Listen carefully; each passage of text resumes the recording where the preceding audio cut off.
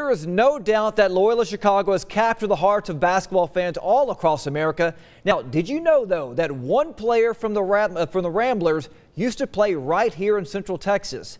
Aundre Jackson spent two years at McLennan Community College playing for head coach Kevin Gill. In his sophomore season for the Highlanders, he averaged 14 points and six rebounds while shooting 65% from the field. Jackson's first season at Loyola Chicago, well, it resulted in earning Missouri Valley Sixth Man of the Year award.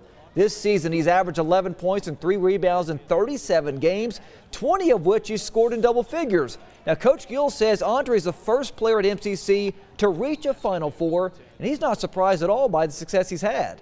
He's been a winner all his life. Uh, in high school, he made the state tournament at Kennedale, and then when he got here, he helped lead us to the national tournament.